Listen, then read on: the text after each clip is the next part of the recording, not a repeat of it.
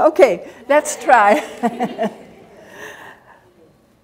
uh, I introduce myself for a while because, first of all, uh, I'm Stella Ruhe. I'm from the Netherlands. I live in Amsterdam, our capital city. And I'm so proud to be here and to be able to talk to you tonight. First of all, I want to thank Dottie for inviting me. I met her in 2014 on the Shetland Islands during Shetland Wool Week, and she came up to me and asked if it was possible to join my class because she didn't sign up for it, but was so interested. And actually, the classes were fully booked. And I said to her, Well, it's okay with me if you come, but you have to ask the organization if that's possible. Well, it turned out not to be possible. And then she moved heaven and earth. and then she joined a class by switch by by. Someone that I had met would come to our Fiber and Friends. Yes.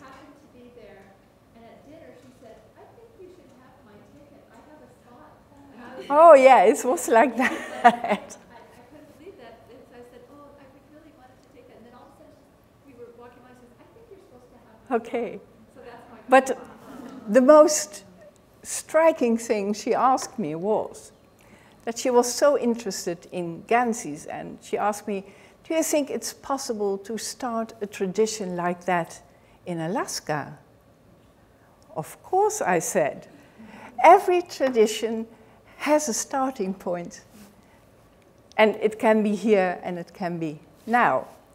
So I'm so happy that. Uh, Dottie started this tradition here in Alaska with her Gansey project. And I hope it will not only be the Cordova Gansey, but that all the fishing villages here, fishing towns in Alaska, will follow her idea and follow her, her new tradition. But I'm here to talk about the Dutch traditional Ganseys. And I hope everybody knows what a Gansey is. It was working gear that uh, were worn by fishermen all over no northern Europe. And oh, you saw the map earlier, and uh, you see the North Sea. The North Sea is a very important uh, um, source for these ganseys because in the North Sea, fishermen went out fishing for herring. And the Dutch, as our people are called, were very keen and very good in fishing since almost the 12th, 13th century. They were, were masters of fishing on the North Sea, and they, uh, the English envied the Dutch for that, and therefore they started uh, some wars that, well, we won.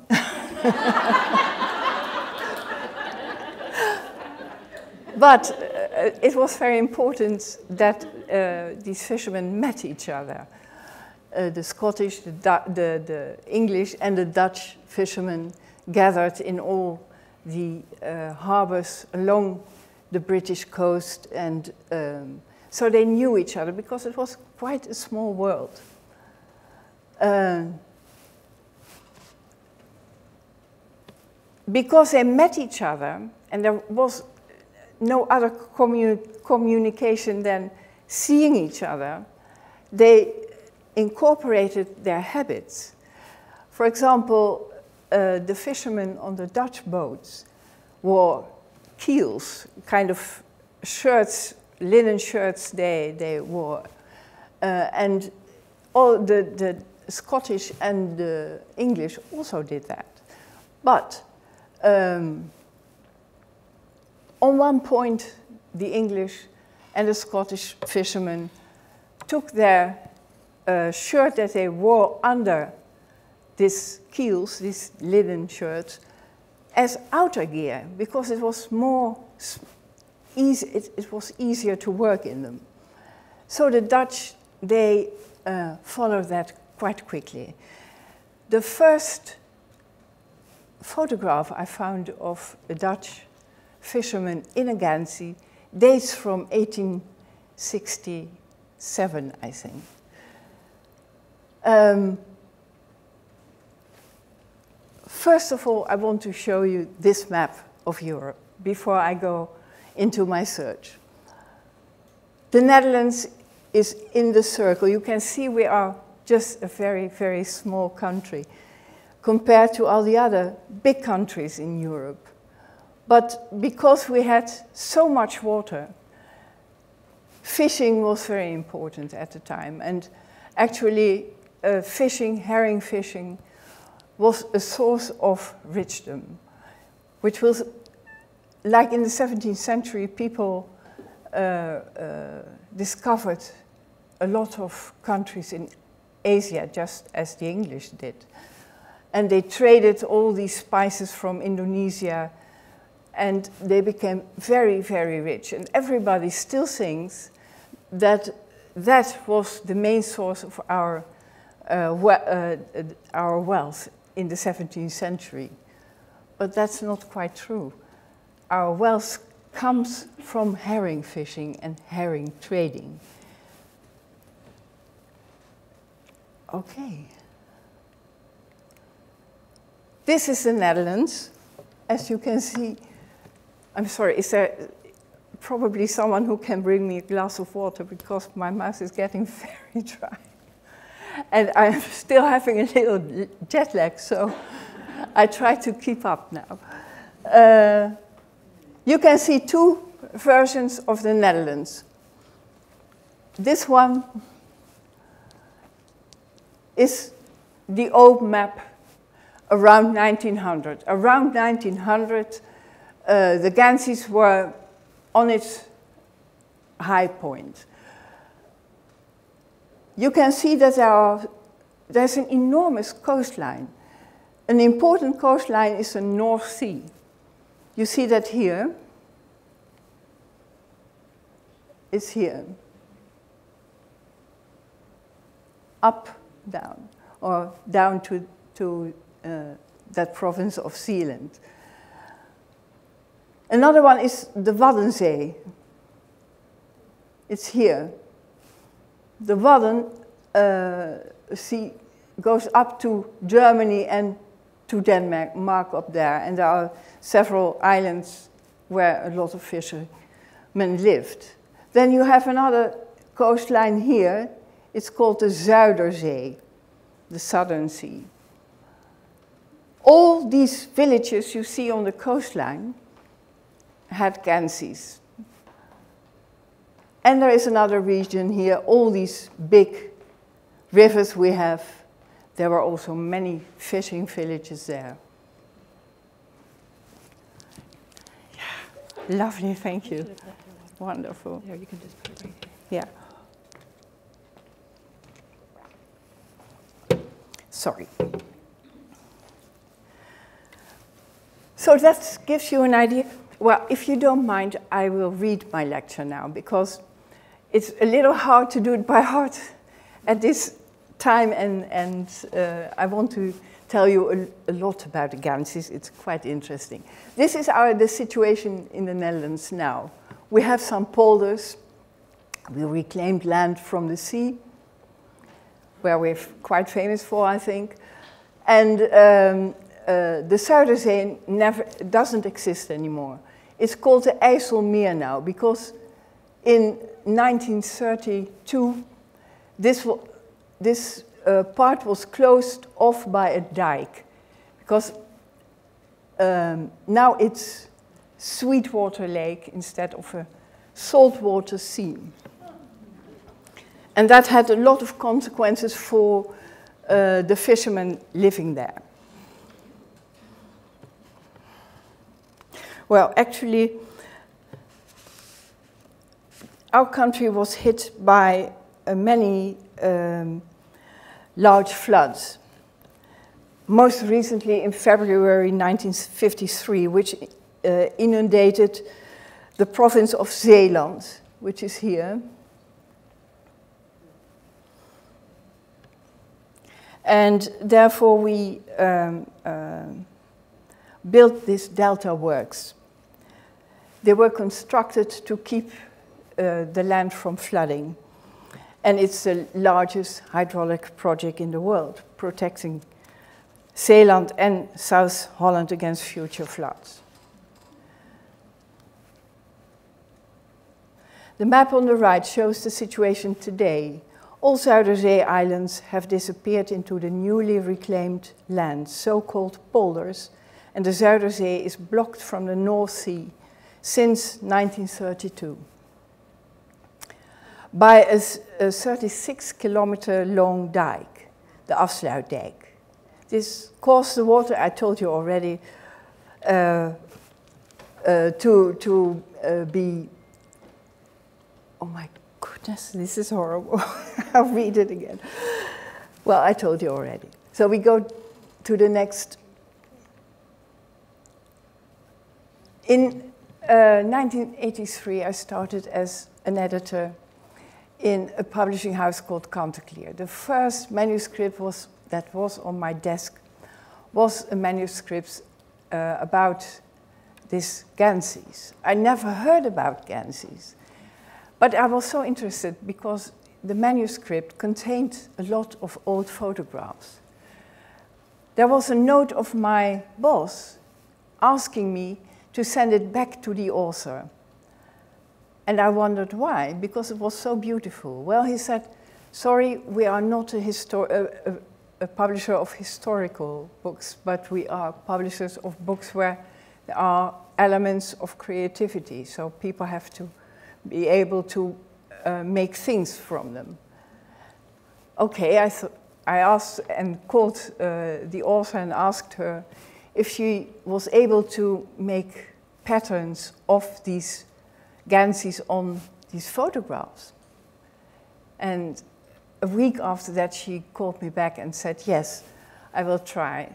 So I could persuade my boss, boss to publish that book, and it was a huge success. And probably you all know that little book. It was a square book with a blue front, and it's called Knitting from the Netherlands. It was also published in English and also here in America. So after about two or three years, it ran out of print because people were interested more in earning money than in knitting. I totally forgot about that book and about the Ganseys until 2012. Else, who's here today, uh, asked, called me and said, well, we have a project and it has your name on it. And I was totally surprised and I couldn't figure out what she meant. Well, she said, we, win, we want another book on Ganseys. My goodness, I thought, well, why should I do that? Because it takes a long time to research and uh, I don't know whether I have time for that and if I have liking for it. But I got curious and called a few archives and museums, asking them if they had these old photographs with fishermen or men on it with a sweater on. Some of them said, wow, a new book on Ganseys. But most of them said, Ganseys, Ganseys, never heard of. I'm very sorry they weren't worn here. But I was convinced they were. And one of the big museums, the Zuiderzee Museum in Enkhuizen, sent me this beautiful photograph of this couple from the Isle of Marken the island of Marken. And it was not in the old book. So I thought, well, if nobody knows about them, I really have to do this project. Otherwise, maybe in five or 10 years, everybody forgot about them. And I still know. So I started this search to, to uh, to find these photographs because all the Ganseys that uh, were knitted are gone because it was working gear. And uh, uh, the fishermen wore them until there was nothing left of them. So there are only a few uh, left in uh, museums, but they are from recent dates, from about 1950, 1955. But another thing was why people forgot about them. If they see a photograph like this and they don't know about the history, they simply overlook them because we are so used of men wearing a sweater that it's nothing special. But at the time, between 1865 and 1950 when they were worn, or actually in 1930, the only men wearing sweaters as outer gear, not as a shirt, an undershirt, were fishermen. So it's funny because we all love to wear sweaters, but they were the ones who introduced a sweater as outer gear. Coco Chanel, the famous uh, fashion designer, was also struck by the beauty of this knitwork, and she made it fashionable. What she also did was uh, introducing tailoring into sweaters. Before that day or that period, a gansey, a sweater, was always knitted as tubes. A tube for the body and tubes for the sleeves. There was no shaping, in fact. You can see that I had a lot of different photographs in the end. Uh, you can see here, it's a crew. Here's another crew. This one on the boat is quite uh, nice to see because also these boats are very interesting to, to, uh, to look for and to search. And, but most of the photographs were made in studios. And uh, they were made by the ship owners. Before a ship sailed, they were photographed uh, because many of the ships disappeared and didn't come back. And so they had a document of the crew.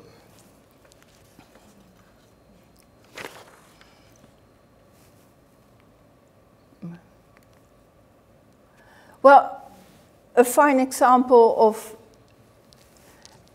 uh, uh, a town or an, an area uh, where people said, no, we had no Ganseys, is Texel, the Isle of Texel, one of the uh, Wadden Isles. I called the Historical Society and they said, Ganseys, no, never heard of, and we don't have those photographs if you want to uh, uh, look further, call the museum. So I did, and they also said, no, we don't have photographs of fishermen in Ganseys, and they were not worn here.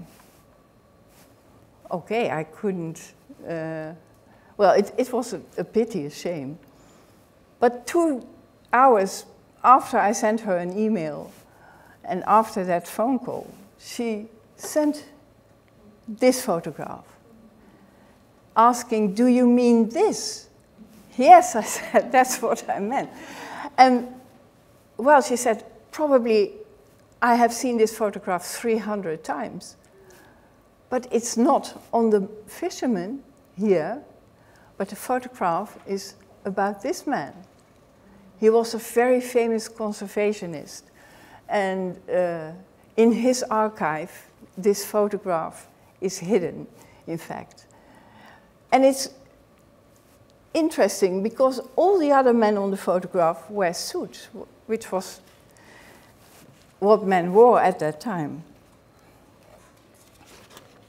On the website of the Reddingsmuseum Dorus Rijkers in Den Helder, which is very close to Texel, I found this photograph. And if you have a good look, you can see that it's quite similar. A similar pattern of uh, arrows pointing in the uh, uh, right direction and here in the left direction, or just the other way around. Probably this photograph has been mirrored, but I thought, I have two Ganseys.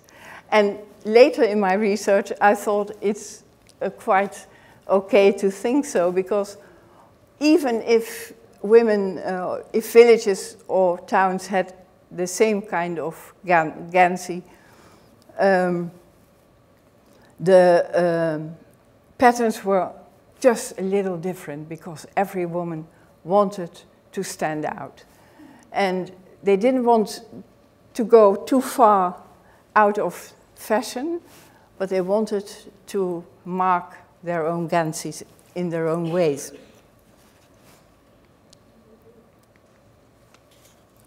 There were a lot of mysteries. Many of the pictures I found contained a mystery. Why was this fisherman from Urk, this one, wearing a Gansey quite similar to that Gansey of Katwijk? Was his wife from Katwijk? Because all the knitters knitted by heart. They knitted the motifs that they learned from their mothers.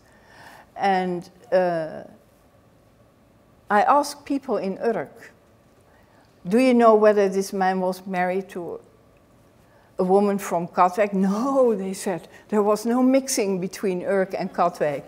so I didn't understand it at all. I couldn't figure it out. Here, the, the people, this, this couple next to him, is from Katwijk.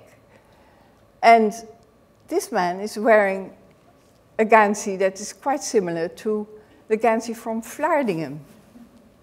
I didn't understand at all. Here is a crew. The captain of the crew is wearing a Gansey from Marken, and he was a man from Marken. All the other ones were from a little village up north called Wierum. So I, I didn't understand anything about it. Until I heard about the developments in the fishing industry in the second half of the 19th century.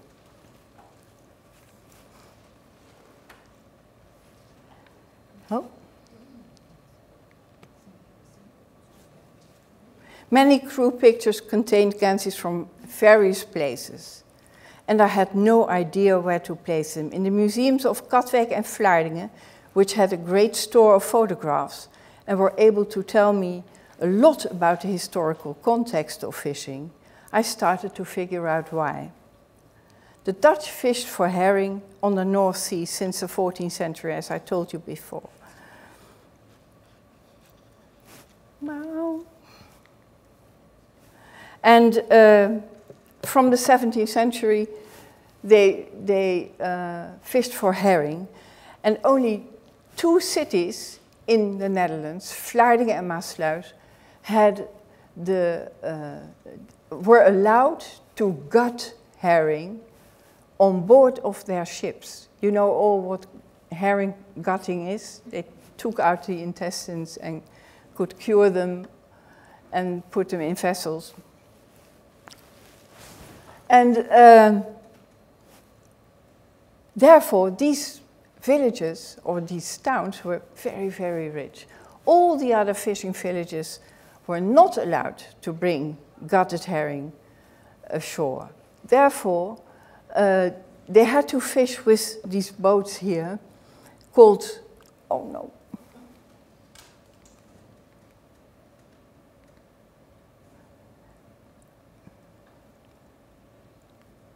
This one, is called a bomschuit, a barge.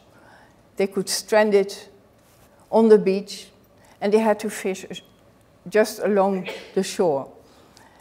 These people were very, very poor because they couldn't cut a herring. They didn't simply had to sell all the fresh fish they catch and they had a, very low income.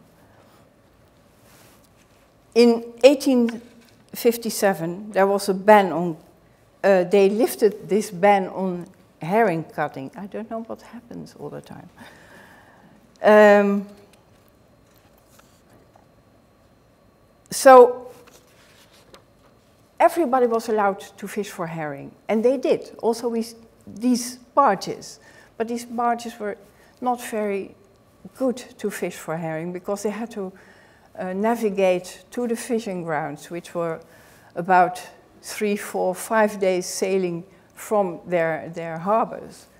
And um, so it was still not very lucrative until 1866 when uh, this beautiful ship was introduced, the Lougre, the Logger, which was a ship with a keel, slender, could sail very fast, and um, but a, a boat with a keel needs a harbor, and there were no harbors along the North Sea coast because they were technically not able to go to um, dig through the dunes. So there were these two big harbors of Vlaardingen and Maassluis. So the fleets of Scheveningen and the fleet of Katwijk moored in these harbors. And when fishing was poor in all the other parts of the sea, uh, along the coast, uh, the Zuiderzee and, and the Waddenzee, they all went to Vlaardingen and to Maassluis to work on these ships that were sailing there. And then, when I understood that, I could interpret it, these crew photographs because from all parts of the country, they were 12 years old. And that first trip could be devastating for them. I read many stories of young boys arriving on the Shetland Islands and simply disappearing. There's a beautiful story of a boy that walked about 18 miles to find a ship that could bring him ho back home. But he was so exhausted that he was picked up by uh, the uh, people from the Shetland or from a village uh, and he was adopted by that family because he was totally worn out and, and etc. And you know, you can understand how hard that was.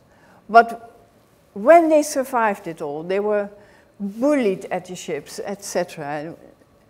There were plagues of fleas and rats and, and mice and terrible things happened. But if they survived, and they came home, they were presented a box of cigars because uh, then they were considered a man. And at the time, people thought smoking was very healthy. And you can imagine if you have fleas or rats or whatever on a boat and you smoke, you think they will disappear, but it's not the case. Also, young girls had to work very hard.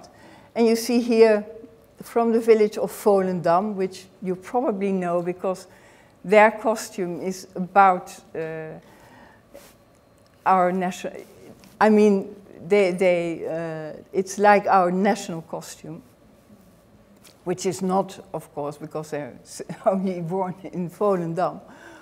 But uh, they had to knit from a very young age. And not everybody was very keen on knitting, but they simply had to. And uh, one of the ladies, old ladies there, told me that whenever she had to knit, her mother uh, put a pin where she uh, left her knitwork, and then she had to put on that day about a hundred rows or something. And whenever her mother turned her back on her, she put down the pin because she hated knitting. well, in all the, the villages, children were hard workers.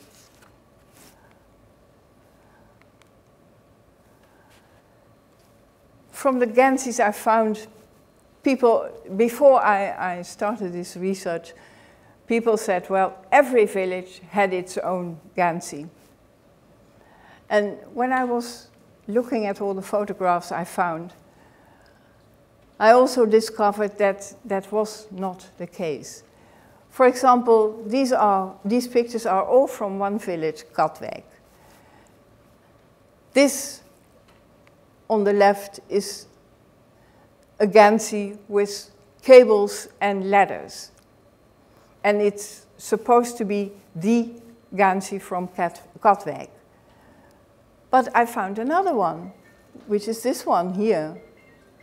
And it has a pattern of balding lights, which is totally different from the other one.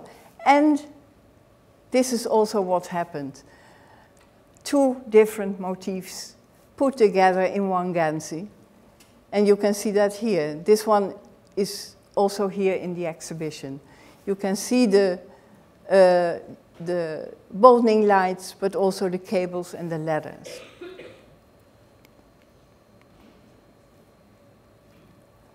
We have an, another theory about why it's wrong to think that every village had its own uh, Gansey on which a fisherman could be identified when he drowned and came ashore somewhere, is that many of the Dutch fishermen wore English machine knitted, machine knitted. This one with the eye of God on the front, here as well.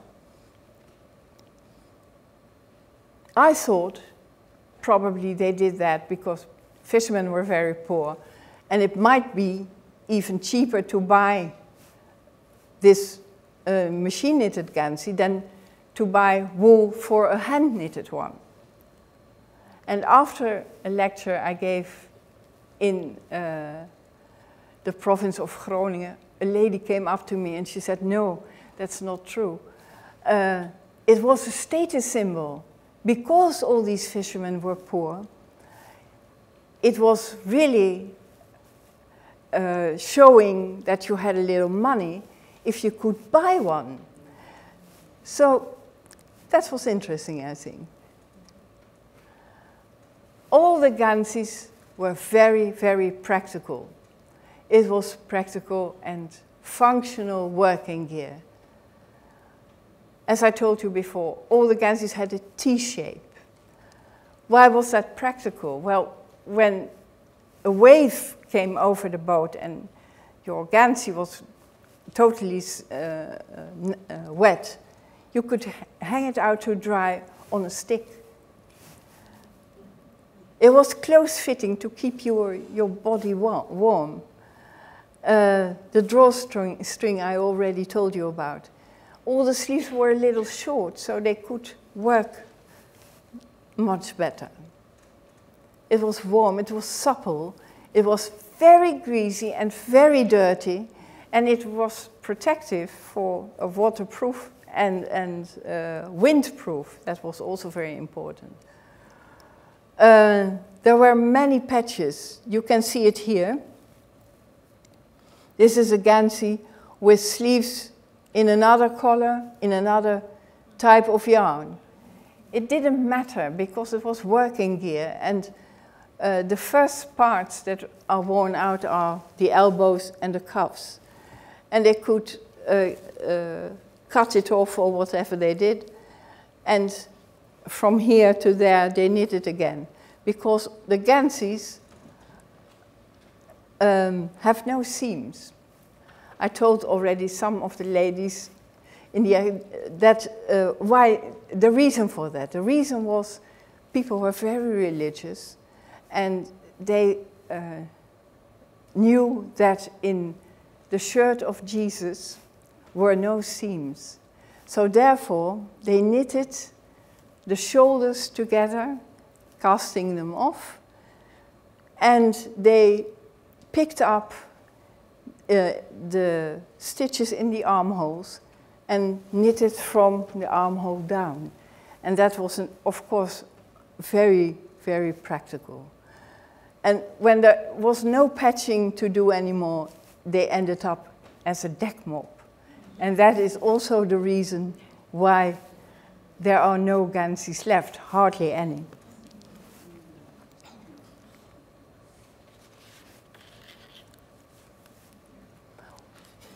Uh, the Gansey has been worn by fishermen in small villages, and most of them had a traditional costume. And in those villages, the Gansey was longest worn.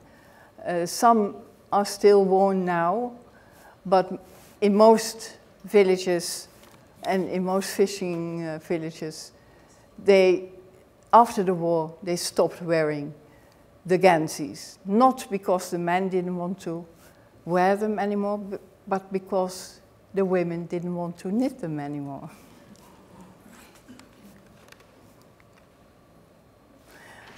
well, during that search, I found 28 North Sea villages that had Ganseys, which is quite enormous if you re remember that hardly anybody knew about them. And uh, this one you saw before, this is from the island of Texel. This is a very nice one from the village of Zandvoort. And you can see how many holes there are in these, in the Gansey. This one is from Katwijk. This one is from Scheveningen. Scheveningen is a little village near the city of The Hague. And actually, it's a part of The Hague now. This is from Middelharnis on one of the South Holland Islands. This is from Ierseke. Ierseke is a, uh, a, village in the province of Zeeland. And this one is from Vlaardingen, this very important fishing city. On the river, I found three different uh, villages. Charlois, which is part of Rotterdam now, Woudrichem, and Willemstad. And you can't say, say that in a region a certain kind of Gansey was worn. Women knitted what they liked. So every woman had her own series of motifs and patterns in her head, and that's what she knitted. You can see that they are all, in this case, in vertical bands. But it doesn't say that that are the only Ganseys that were knitted there. The Waddenzee villages uh, nine villages, actually. No. That's something very... Uh, yeah. The Southern Sea had 19 different villages.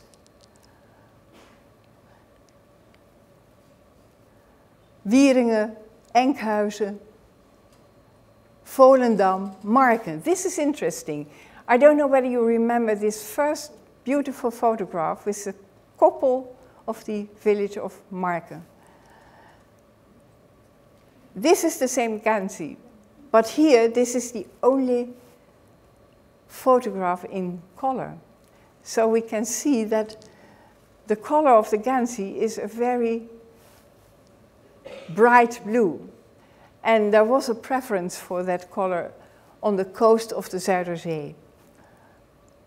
And this, proof, this photograph proves that, because all the other ones are in black and white.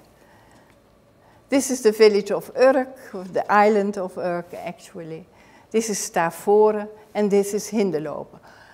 All these uh, Ganseys are also in the exhibition. So if you come by maybe tomorrow or on Sunday, I will explain them to you.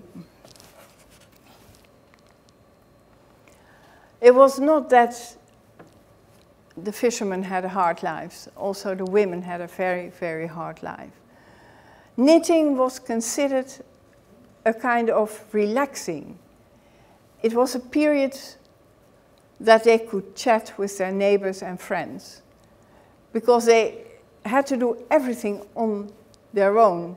And they had a lot of children that had to be fed and clothed, and all the clothing was made by hand. There were no machines to help them. Uh, you can imagine, for example, here, this, these two. This is a doll in the Museum of Katwijk. This is a painting. They couldn't survive on just the catch of the day. They had to do all kinds of things to earn money. One of them was to peddle fish to the nearest town and market. The women from Katwijk had to walk 11 kilometers, I don't know how many mi miles that is, about 10 miles, I think, or maybe a little less, with heavy loaded baskets with fish on the head and on the arm. And then they had to sell the fish on the market or door to door. And when they came back, they had to walk again this distance. Only in 1881, there was a tram line uh, between, for example, Katwijk and the city of Leiden, where they sold their fish. And the fisher, the fisher wives could sit in that tram, but in the last carriage that had no doors and no windows, because the rest of the people didn't want to sit in their smell.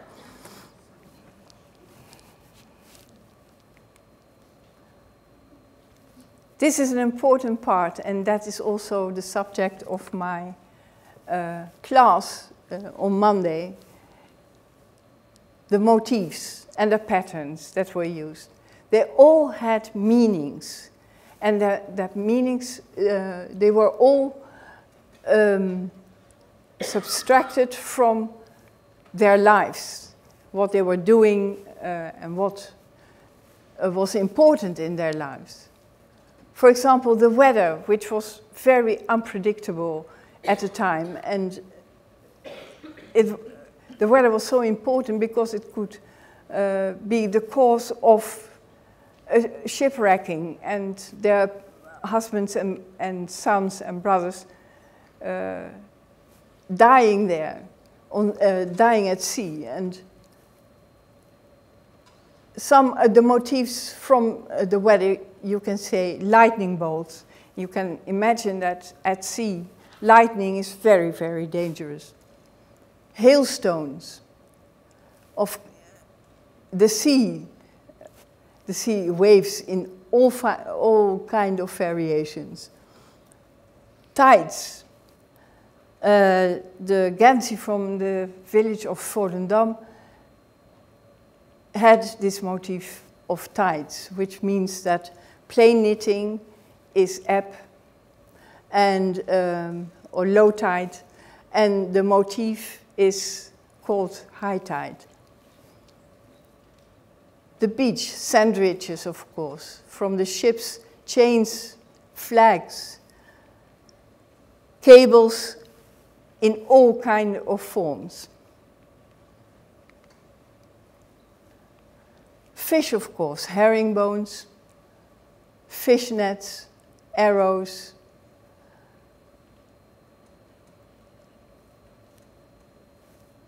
Squares, daily life squares represent, for example, the bricks of their houses.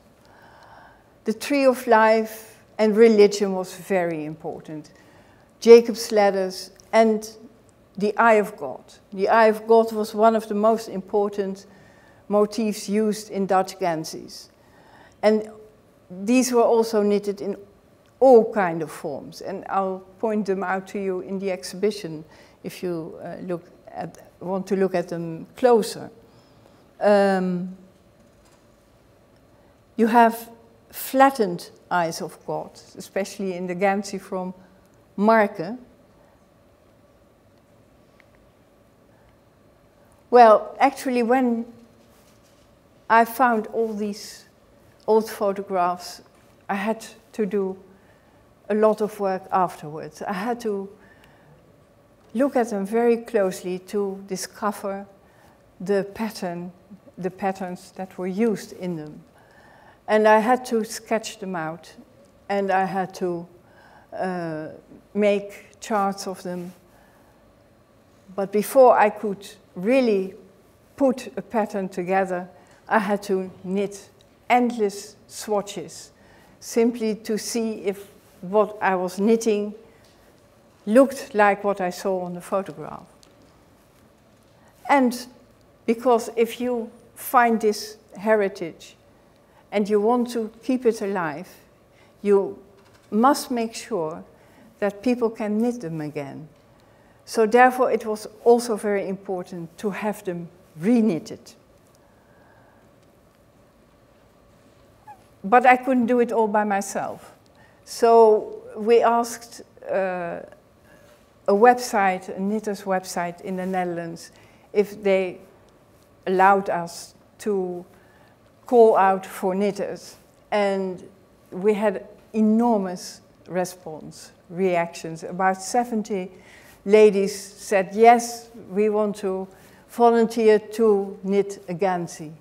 But there were also ladies that said, well, I learned how to knit about three months ago, and I finished a scarf, and it seems very nice to knit a Gansey. So these ones I, we simply dropped, and but we we kept about 45 ladies that uh, volunteered to knit all the Ganseys you can see now. I told you I had to sketch them out first and make diagrams or charts before we could send them to the knitters. These samples, endless. I couldn't bring them because my suitcase was full of Ganseys, otherwise I would have taken some of them. But it was very nice to do. And you can see that I used all different kind of yarns. The original uh, yarn that was used for Ganseys at the time was called Sagathi, and in Dutch you say sayet.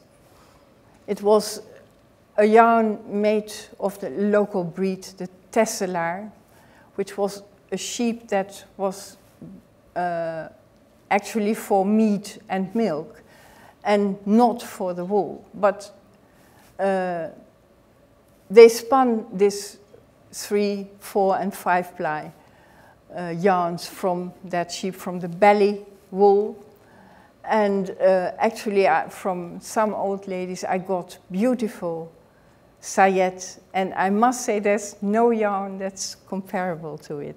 So it's really, really a shame that it's not produced anymore. In 1950, the last factory, the last mill, stopped producing this sayet because people after the war were more prosperous, were able to buy softer wools, other and uh, more expensive wools, and they thought it was very poor men's uh, yarn and cheap yarn, and therefore it's a pity. And therefore you can see that all the Ganseys in the exhibition are made of different sorts of wool. What I did was using the original color palette. Uh, all different kind of blues.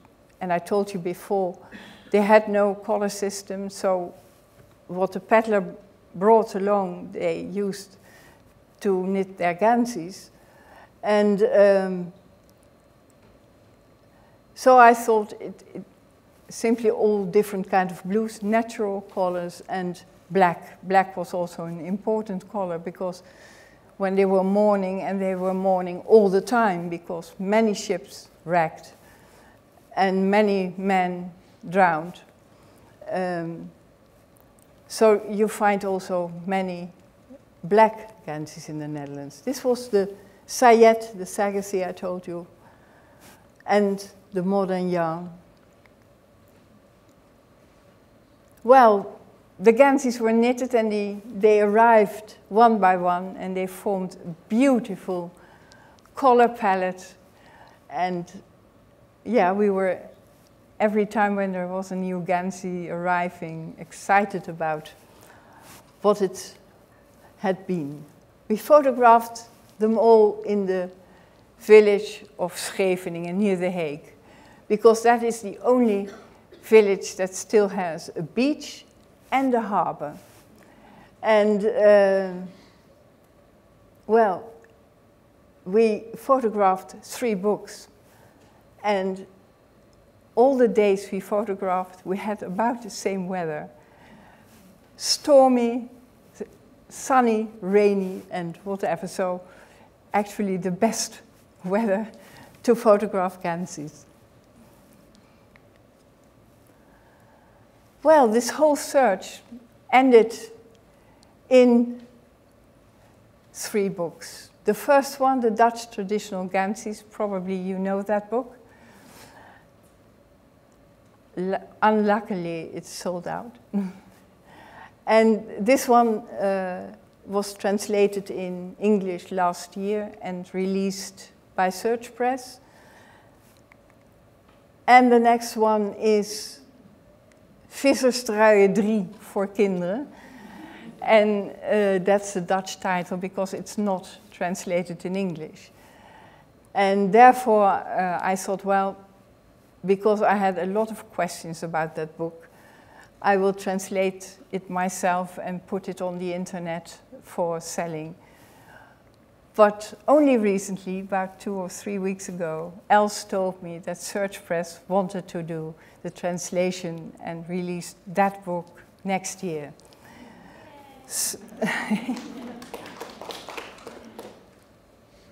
well, actually, the books are here, I think, Dottie.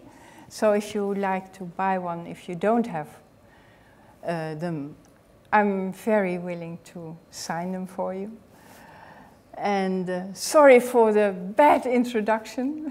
I'm really a little tired. But uh, never mind. I hope to revanche, revanche myself uh, on the tours in the exhibition. And I can tell you a lot more stories and a lot more details than I do now. And um, well, that's it. But uh, are there any questions? Thank you. They can ask questions on my tours. Oh, it's okay. Okay. Okay.